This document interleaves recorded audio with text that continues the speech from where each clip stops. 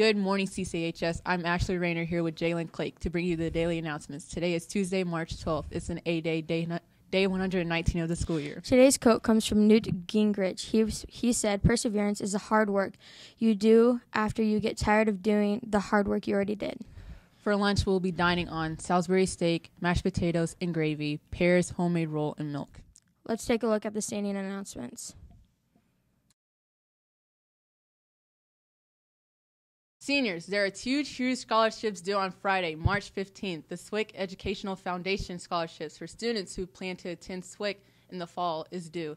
The Jenny McDowell and Harlan Layton is a local scholarship for $2,000 given to CCH students with a 3.49 or below GPA.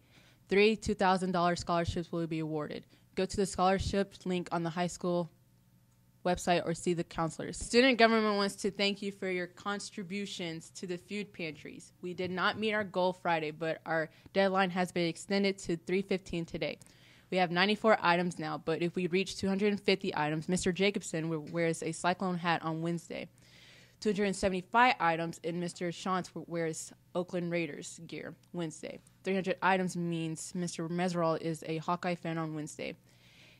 Thank you to the CCH High School students, to student body, faculty, and staff for our participation in TWIRP activities. We had a fun week, topped off with great peppers showcase and the crowning of Kyle Gibby as king.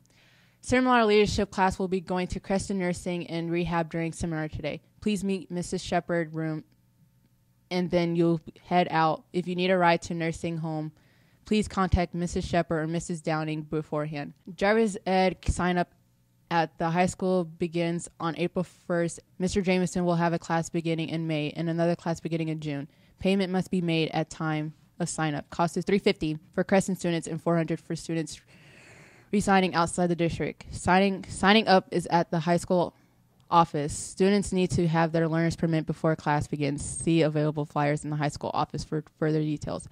There will be a three hour early out on Thursday and no school Friday due to parent teacher conference. There is no school next week for spring break. This is all we have for the standing announcements. Let's send it over to the take a look at the seminar schedule. Today during seminar, the seminar leadership class will meet in Miss Shepard's room.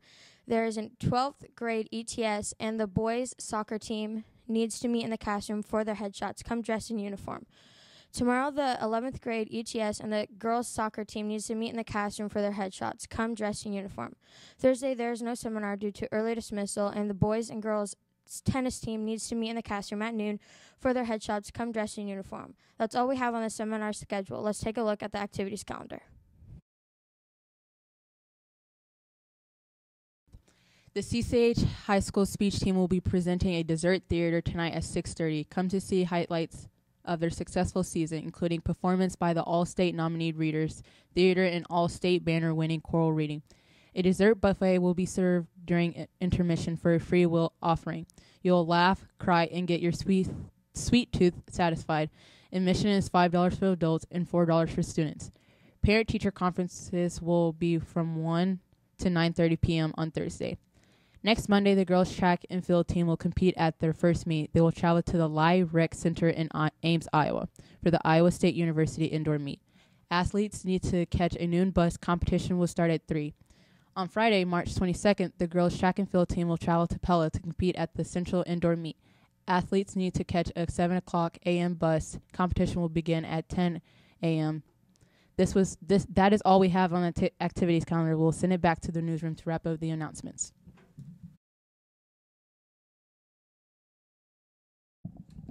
There are no birthdays to celebrate at CCHS today.